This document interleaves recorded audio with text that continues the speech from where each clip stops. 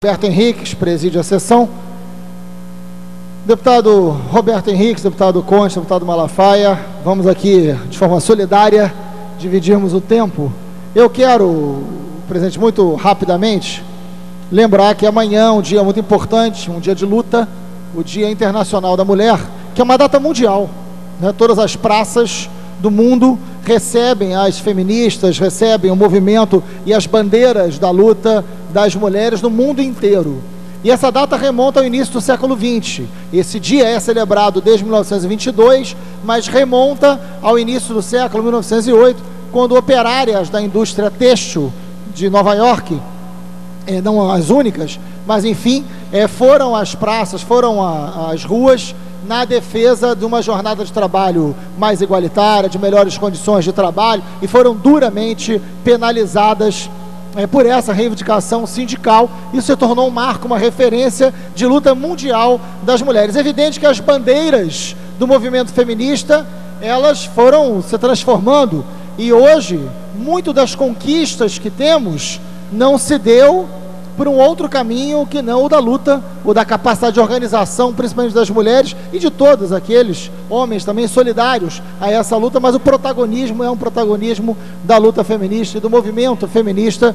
E amanhã nós teremos a clássica, o ato unificado, a clássica caminhada da Candelária à Cinelândia do movimento de mulheres. Eu quero aqui convocar todos e todas para esse ato. Eu estarei lá né, na, na, Rio Branco, da Candelária ao Cinelândia, dizendo que nós temos, é, deputado Conte Bittencourt, deputado Cida Diogo, nós temos 11 esquinas da Candelária até a Cinelândia. Em cada uma dessas esquinas é, vai ocorrer uma homenagem a uma feminista. Então, diversas mulheres importantes na luta da história da, do movimento de mulheres, elas serão lembradas nessas esquinas. Né? Então, isso é bastante criativo, bastante original, muito importante que aconteça. Isso vai acontecer amanhã no centro do Rio de Janeiro e acho que a gente tem aqui que lembrar. Agora, é bom dizer também que a bandeira, ou as bandeiras do, do movimento feminista, ela não é, ela não se restringe às bandeiras específicas da violência contra a mulher, todas são importantes,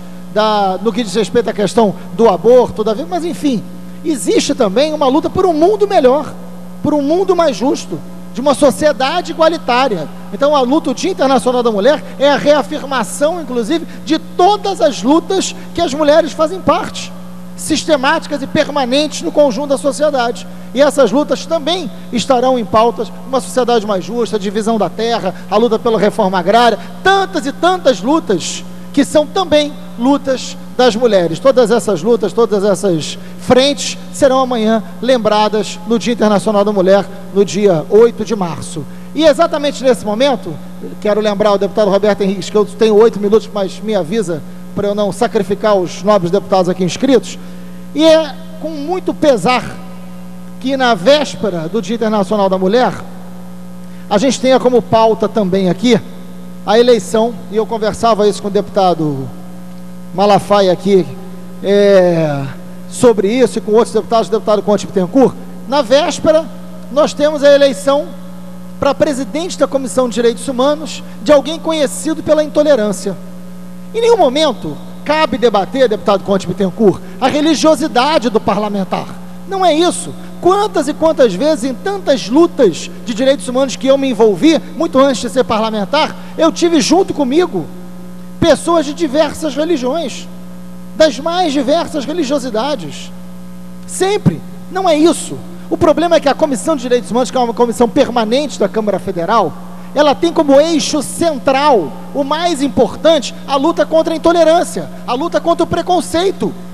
As bandeiras históricas da luta por direitos humanos não é a bandeira de quem concorda ou quem não concorda com essa bandeira, quem é a favor ou quem não é a favor do casamento civil igualitário, quem é a favor ou não é a favor do aborto, quem é. Não é isso todas essas bandeiras, todas as bandeiras históricas da Comissão de Direitos Humanos são ali tratadas, ali é o seu espaço institucional conquistado de defesa, de debate. E o eixo central dessa comissão é o enfrentamento à intolerância, a intolerância religiosa, inclusive.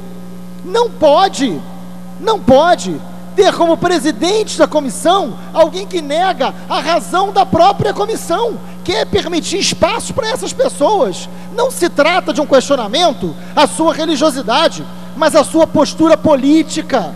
A sua postura política, seja de qual for a sua religião, a sua postura política homofóbica, intolerante, racista, não permite que seja tolerável, aceitável, que ele ocupe a presidência da Comissão de Direitos Humanos.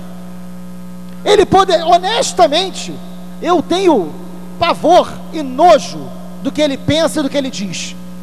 Mas acho que se foi eleito, se foi eleito, ele tem o espaço dele no parlamento, mesmo que tenha sido eleito de forma é, muitas vezes pouco democrática, mas foi. Ele tem o espaço dele no parlamento. Agora, ele presidir uma comissão para inviabilizar uma comissão movido pela sua intolerância, isso é inaceitável para os princípios democráticos. Isso não tem que indignar apenas um, apenas um militante de direitos humanos. Isso tem que indignar qualquer um que acredite minimamente no Estado Democrático de Direito, que queira ter o mínimo de regra de funcionalidade para uma casa parlamentar. É disso que a gente está falando. E essa manobra lamentável que um partido político indique esta pessoa com este. Não tinha nenhum outro, porque a presidência da Comissão de Direitos Humanos pertence a um partido. E esse partido indica um deputado. Indicou esse deputado por quê? Tem responsabilidade sobre essa indicação. Então é grave, é muito grave o que está acontecendo. Então eu quero associar esses dois temas: o Dia Internacional da Mulher, de tantas bandeiras, de tanta conquista, com tamanho retrocesso na Comissão de Direitos Humanos. Tenho certeza que todos os parlamentares que têm compromisso histórico com os direitos humanos não vão deixar que a luta por direitos humanos possa ser apagada ou atingida por uma por algo tão aviltante. Então tenho certeza absoluta que uma frente alternativa, que enfim, alguma coisa se busque no parlamento, mas que para as demandas reais da Comissão de Direitos Humanos possam ser absorvidas pelo parlamento, porque isso é da maior importância para as lutas do dia a dia de quem quer um país que tenha dignidade e que se coloque contra todas as formas de preconceito e de intolerância. Obrigado e viva o Dia Internacional da Mulher.